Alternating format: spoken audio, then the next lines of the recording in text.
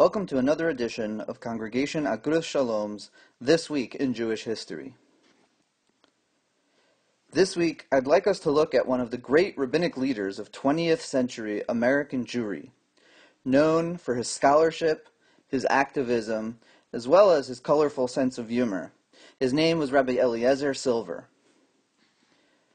This week, in 1882, Eliezer Silver was born in the town of Obolei, in northeastern Lithuania. In his younger years, he studied under some of the great rabbis of the time. Rabbi Yosef Rosen, known as the Rogatchover Gaon, whom you can see on your left, and later he received his rabbinic ordination from Rabbi Chaim Ozer Grodzinski, who would later become the head of the rabbinical court of Vilna and the foremost Jewish legal authority of his time. You can see a picture of him on your right. Rabbi Silver immigrated to America in 1907 and first came to New York City. At first, he was not able to procure a rabbinic job, and so he worked in the garment and, and insurance businesses. But in the same year, 1907, Rabbi Silver succeeded in procuring a rabbinic job and became rabbi of Congregation Kesher Israel of Harrisburg, Pennsylvania. On your screens, you see the old building of Kesher Israel.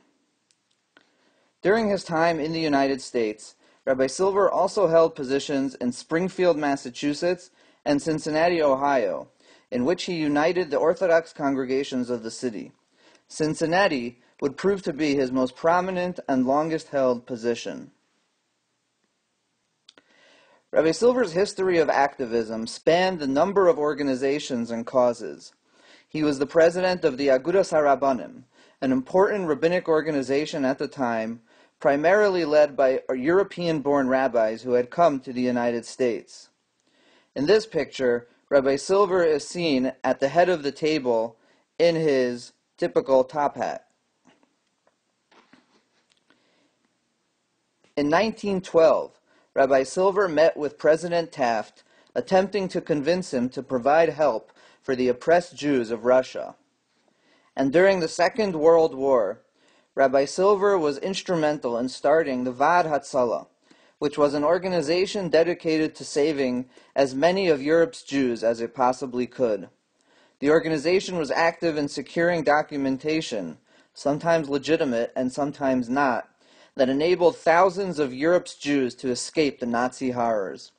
The organization also made attempts to secure assistance from the American administration on behalf of European Jewry.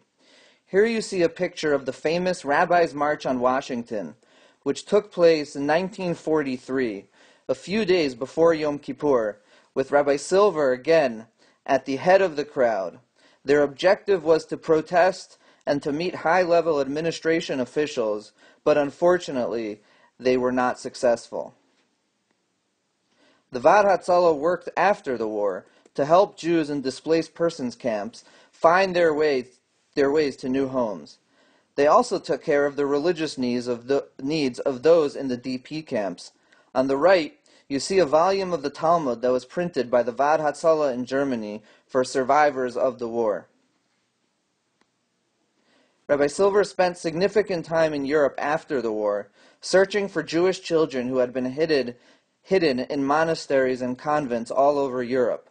He also searched for and retrieved thousands of Jews who were trapped behind the Iron Curtain. Rabbi Silver's long and active career came to an end in 1968 when he passed away. He was buried in his hometown of Cincinnati, and with his death, American Jewry lost one of its most, most storied rabbinic leaders.